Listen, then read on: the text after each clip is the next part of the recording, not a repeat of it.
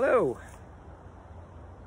We uh, receive plenty of questions about mist nets at Avinet, and it seemed uh, like a great idea to introduce some of the aspects of the mist net that, that as we define them, uh, to help people understand um, how we view the net.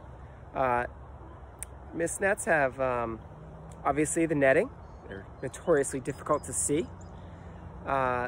The netting has a mesh size. This happens to be a 30 millimeter mesh, meaning that when you stretch the square or diamond of netting, it will be 30 millimeters.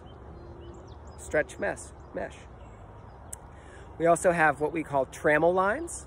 Those are lines that run horizontally across uh, the length of the net, and they weave the netting uh, into forming these pockets. And those pockets are where the bird uh, gets nestled and, and captured in the net.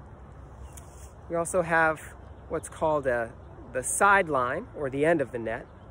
And um, that provides a way to uh, define the height and distance between the trammels and establish the depth of the pocket. So the excess netting on the net uh, provides the pocket depth, which varies in our bird and bat nets. You can always adjust the height by the depth of that pocket, in a sense, by adjusting the height or distance between the loops. As you see, the pocket becomes deeper as I bring this loop down. Another aspect of the net that's important, I'll just bring this bottom trammel up, is the concept of tethering. Net tethering refers to the net being attached to the trammel line so that all of the netting doesn't blow down in one direction or blow back in the other direction.